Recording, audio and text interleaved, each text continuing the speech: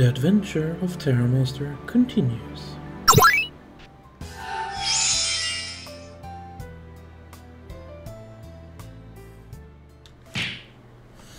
Hello and welcome everyone to another Terra Terramaster tutorial. Today we're going to be looking at VirtualBox. This is going to be the first episode out of a series of episodes, how to do important things with your Terramaster NAS. The first thing we're going to be doing is to set it up so we can actually use the uh, virtual machines to create something. So the first thing you're going to do, you need to open your App Center. Make sure that you go and find VirtualBox. Make sure you install VirtualBox.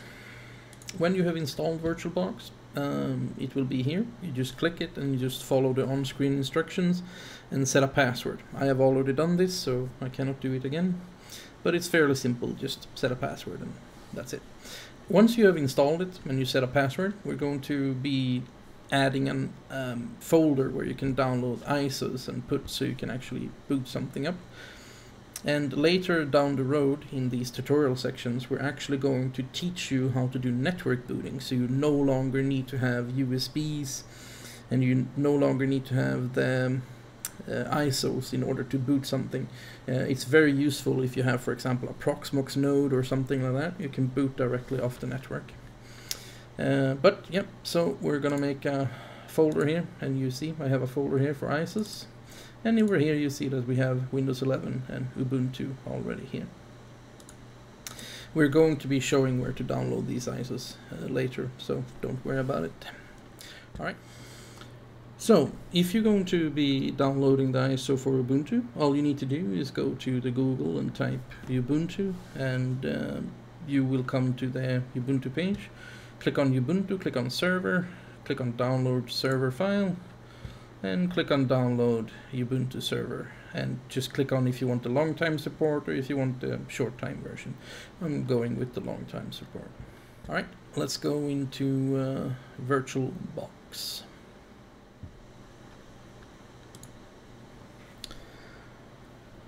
As you can see, um, we are now inside of VirtualBox. As you can see, I already have a Ubuntu playground already here, but we will be creating a new one. So just click on create a new one. Name. Today we're going to be Ubuntu. Um, we can actually let it be like that. So just put Ubuntu. We'll find Ubuntu 64 bits Linux make sure that it's selected. Input the RAM. Uh, we're gonna have 40 96 which is 4 gigs by the way. Uh, if you're unsure about how much RAM to put there um, you can just do it uh, for example if you want to have 4 times 1024 and you will get it. Next create a hard drive. We're going to create a hard drive you can select whichever you want. Uh, for example, if you're going to be moving this virtual machine to Proxmox, you might want to select QCOW. Um, if you want to move it to another one, you, for example, Windows, you might want to have VHD and something like that. So basically select the one in case you want to move it, yeah? I'm not going to be moving this one, so VirtualBox is perfectly fine. And dynamically allocated. How much do we want? Well, I'm going to be putting it at 30 gigs, because I just want to have 30 gigs. Wait for it to finish off. Once you have uh, created your device, it's going to be look something like this. We are going to have to click on settings or right click it and click on settings depending on what you, what you do. Um, we need to actually add a few things. So just go through the settings, make sure that everything is added. For example, if you want to have encryption, you put it right there. System, for example, floppy drive, for example, we, we, we're not going to use any floppy drive, so you, are not going to need that. Uh, we're going to use optical and hard drive though. Uh, processor, how much you want. An acceleration, display, remote display.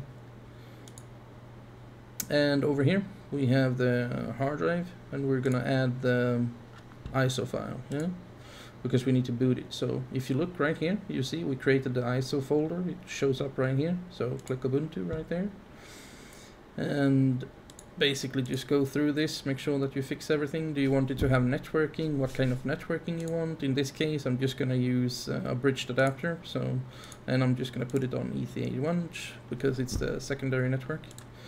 And we're just gonna put it, and then we just click OK. After that, we can uh, basically start it up. So just click Start. Now you're going to need a remote um, interface in order because if you look over here at the console you're going to be seeing that we can't do much over here for example you see we can't do anything here so what you're going to need is a remote desktop. So in this case um, I don't have the flash plugin because it's not safe. So what I am going to do is I'm going to actually save this uh, remote desktop um, link and I'm going to open it in ThinClient. ThinClient is basically a program that you can download and you can use whatever you want really, doesn't really matter, but I'm going to use Thin Client, so I'm just going to click here and it will see download started and it will download the link to my computer. And after that, I can open it and it will show up the rest of the menu. So I'll see you right there to this one here and basically as you can see uh, we're now opening the Ubuntu and this is basically the remote thing that I am using. You can use whatever you want. noVNC, you can use whatever you wish. But thin client for me works perfectly, so I'm using it. And then we'll just wait through the setup process here. And here you go. Now it's starting up. So now we're just going to type in what language we want. In this case, we're going to go with English.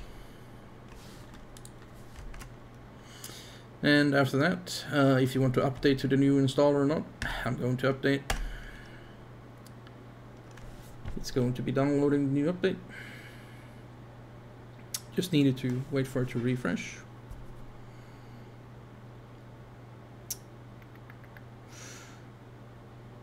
There you go. And after that, we're going to identify the keyboard because I don't have a US keyboard, so we're going to be identifying it. If you have a US keyboard, you can skip this one, but I don't.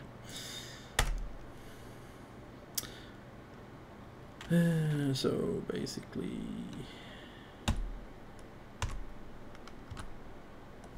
Uh, yes, we have a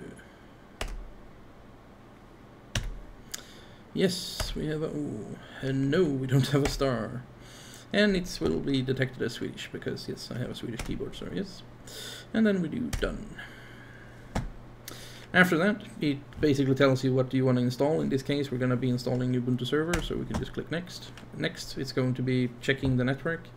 Uh, we just wait for it to check and once it's done there you go. It's checked the network and then after that we're gonna go to next. And we don't need a proxy. It's basically going to check the mirrors so just wait for it to be done.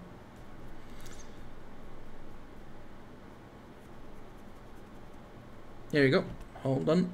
And we're gonna go to next in this case here, we're gonna select which hard drive we're gonna use. We're gonna use the one, and I'm gonna set up some LVMs and things, so I just need to go on done, because this is all good. And this is all good. You can check it over if you want, but basically it's just gonna tell you that the boot drive is there and where to mount it and whatever system it has mailed. For example, it has made a LVM volume, things like that. It's perfectly fine. Just click done. Do you want to format the drive? Yes, we want to format the drive enter your name. In this case, we're gonna go with Terra Monster.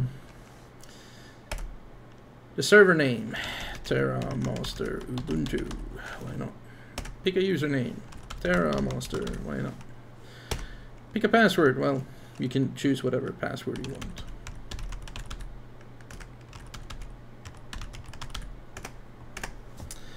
After that, do you want to install uh, Ubuntu Pro? No, I do not want to. I'm gonna skip it. Do you want to install OpenSSH? Well, I actually do remember, I actually think that you should, but it depends on the safety. Um, if you don't want it, then don't do it, but I'm gonna do it because I want to SSH into this one later on, so let's do it. And over here, what do we want to have installed? Well, we want to have Docker installed because we're actually going to be needing that one. So we're going to put that one in there. And that's basically it. We don't need anything else here. There we go. Now it's going through the motions.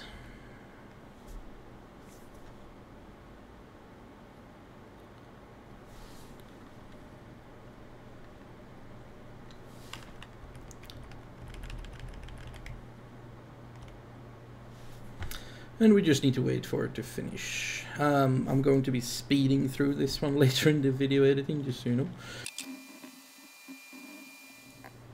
Alright, so we can see that it has finally installed everything and run all the security updates. We are going to be rebooting the system.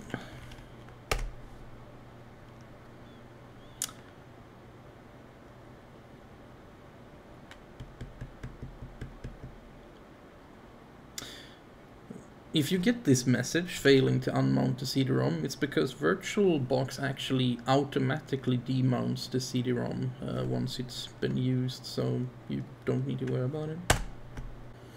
Once we have logged into the system, you will be greeted with the basic things as always. It's gonna keep booting for a while, so don't worry about it. I'm, I was just too fast. But we can still do a few things in the meantime, so let's do Let's do an update.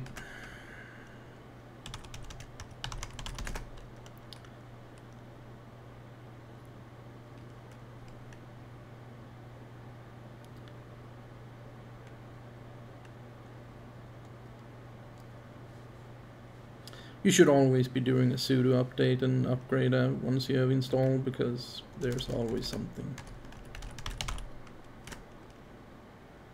And there is better commands for doing this, by the way. I'm just doing it to make sure that you follow what I'm doing. And then we just wait for everything to update. Right, everyone. Welcome back, and now we have updated everything. And now we're going to be testing and see if everything is working as it should. So let's uh, see if Docker is up.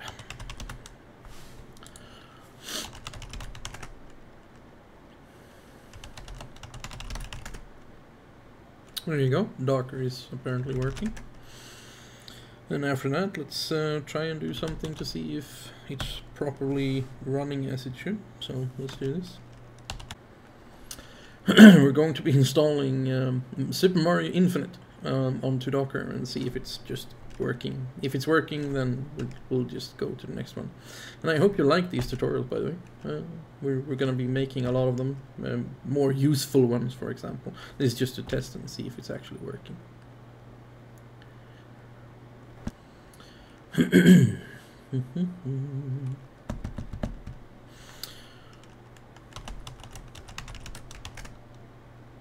there we go, it's actually running, so let's figure it out. Let's open a web browser and check. And as you can see, it is working. So let's try it out.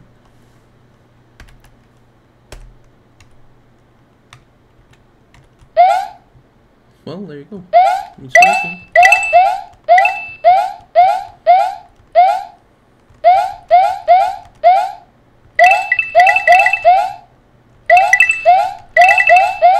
Well, that's enough.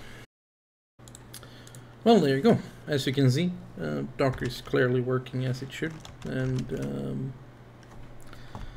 well, there you go. As you can see, uh, Docker is clearly working as it should. And um, we can now go on to the next tutorials. Basically, we're going to be setting up a different variation of things. We're going to be setting up Pi-holes. We're going to be setting up um, Duplicati. Um, we're going to be setting up uh, network booting, for example. You, you know you have usually had your USB sticks and you usually have your ISOs when you're trying to install virtual machines or computers or something in your network. We're going to be setting up so on your TerraMaster NAS you can actually boot from the TerraMaster NAS uh, into your systems.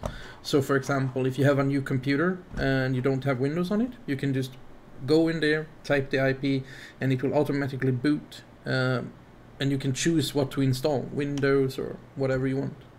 Uh, we're going to be showing you how to do that with the TerraMaster NAS as well. But there you go. That's all for today. And as usual, see you next time. Hope you enjoy the tutorials.